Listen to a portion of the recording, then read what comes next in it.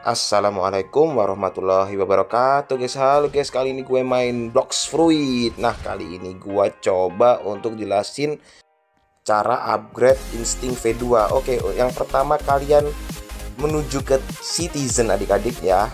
Nah ini kan warga kan. Kalian bertanya Kalian akan disuruh untuk membunuh beberapa musuh adik-adik yaitu 50 musuh. Nah di situ ada musuh NPC yang terdekat namanya Forest Pirate ya adik-adik ya. Kalian lawan ini 50 sesuai yang diperintahkan dengan citizen ya. Kalau kalian sudah selesai ngelawan ini kalian balik lagi ke citizen ya. Nah kalian balik lagi. Ajak bicara dia adik-adik. Nah ajak bicara dia. Setelah itu kalian akan diberi misi untuk mengalahkan Kapten Gajah ya adik-adik ya. Kalau bahasa Inggrisnya itu Elephant King ya. Nah kalian bisa ke sana. Nah Kapten Gajah levelnya 1875 adik-adik. Itu bos. Kalian kalahkan aja nanti. Posisinya tidak jauh dari pintu gerbang home base kalian ya. Nah kalian bisa lawan ini. Aku coba lawan adik-adik. Ya emang cukup keras tapi tidak masalah sebenarnya adik-adik. Nah kalau kalian mengalahkan ini kalian bisa dapat item lah. Ada item pedang lah salah satu pedang. Item rare lah. Oke kalian kalau sudah lawan Elephant King sesuai perintah citizen kalian bilang lagi ke citizen bahwa kalian sudah melakukannya adik-adik.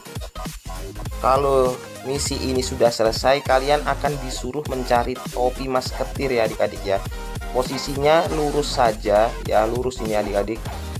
Lurus dari pintu gerbang situ. Nah oke okay, lurus ya.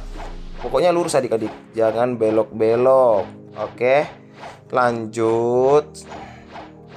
Nah sebentar lagi akan terlihat kayak nah dinding. Nah di sini adik-adik di balik jamur ini ada dinding kalian bisa hancurkan dinding ini adik-adik dengan menggunakan skill blocks fruit kalian ya adik-adik ya. Bisa pakai jurus-jurus yang lain juga sih bisa pakai. Pokoknya hancurkan saja adik-adik. Nah kalau kalian sudah merasa itu hancur nah akan berlubang ya adik-adik ya. Kalian di sini akan mendapatkan topi masketir ya bentuknya kayak gini ya aku coba carikan di itemku ya. Nah ini topi masketir a traditional soldier's hat of choice. Nah kalian kalau sudah dapat ini kalian balik aja bisa teleport langsung home dan bicara lagi ke citizen ya adik-adik ya bahwa kalian sudah mendapatkan topi itu kalau kalian sudah bicara sama si Kijen kalian bisa ngikuti apa yang aku lakukan sekarang untuk mendapatkan insting versi 2 nya adik-adik. Oke ini adalah misi terakhir West insting versi 2 adik-adik. Kalian ke citizen bicara aja. Nah dia bilang terima kasih. Dia akan membantu kita apa pun dan memberitahukan bahwa dia koki di sini adik-adik ya selanjutnya kalian keluar dari pintu gerbang ya. Lurus saja adik-adik. Jangan belok ke sini adik-adik. Jangan belok ke sini ya. Jangan belok ke situ. Kalau situ nanti arahnya salah adik-adik. Kalian terus saja. Jadi lurus. Nah mirip sama yang tepat yang tadi yang dapat masketir head. Nah itu baru belok kanan adik-adik. Tandanya itu tadi ada jamur ungu. Oke kita lanjut terus adik-adik. Sampai kalian kelihatan rumah buah ya rumah nanas adik-adik. Rumahnya SpongeBob. Oke rumah nanas ya adik-adik ya. Nah kalian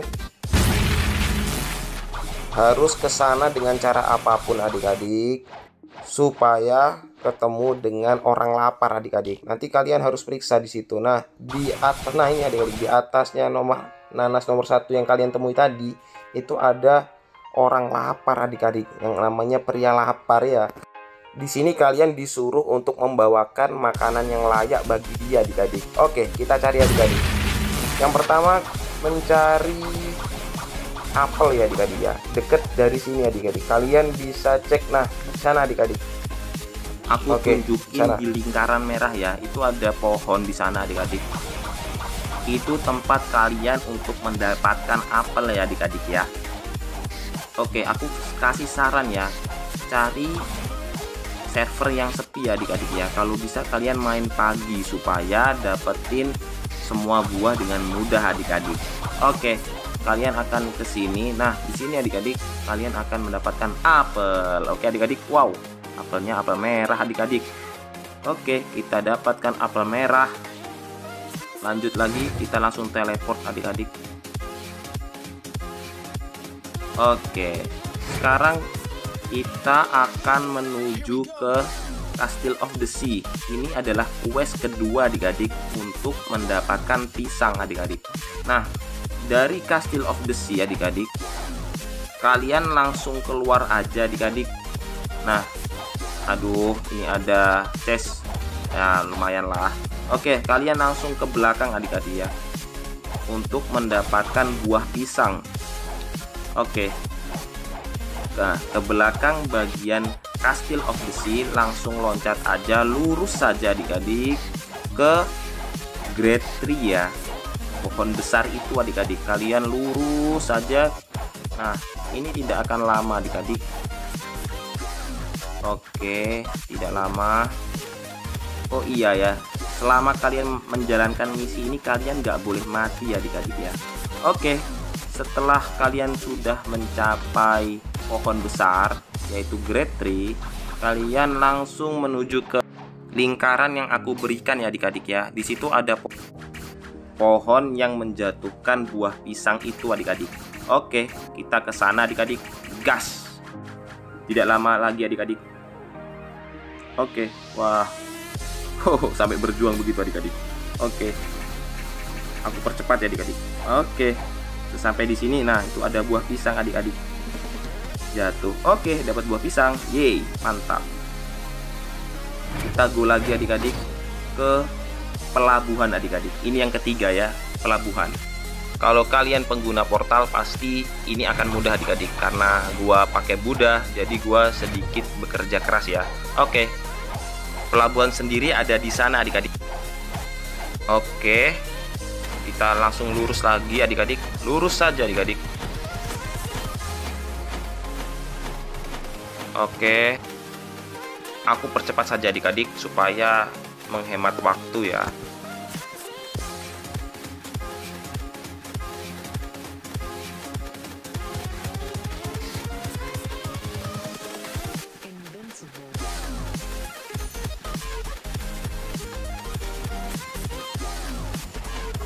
Oke, sudah sampai ke kota pelabuhan adik-adik.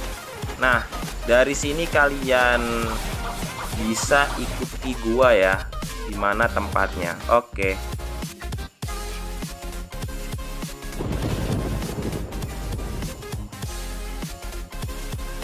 Nah, di sini adik-adik, kalian akan mendapatkan buah nanas adik-adik. Oke, kita dapat buah nanas, mantap. Setelah mendapatkan buah nanas, kalian teleport aja kembali ke rumah ya adik-adik ya. Rumah ini di uh, Pulau Kura-Kura. Nah, kalian bilang ke citizen nah bahwa kalian sudah mendapatkan tiga fruit itu. Dan kalian dikasih nampan adik-adik. Kasih uh, mangkok ya. Nah mangkok ini tidak mungkin juga kita kasih buah-buahan tanpa mangkok. Itu tidak sopan ya adik-adik ya. Kita harus kasih dengan mangkoknya adik-adik namanya fruit bowl ini adik-adik. Oke kalian ke tempat yang tadi.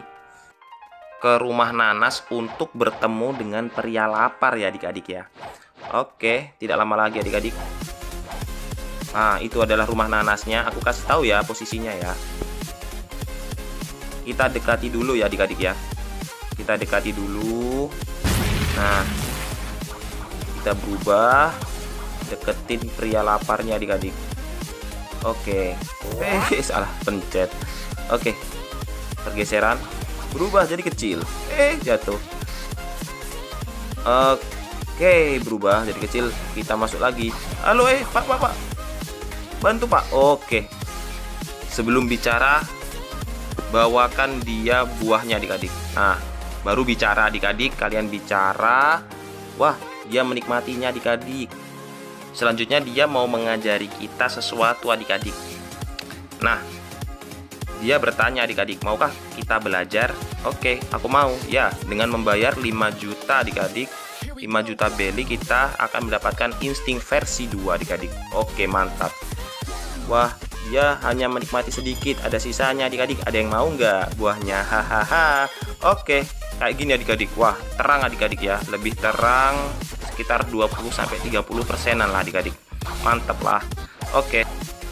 Aku kasih tahu perbandingannya ya kayak mana ya. Oke.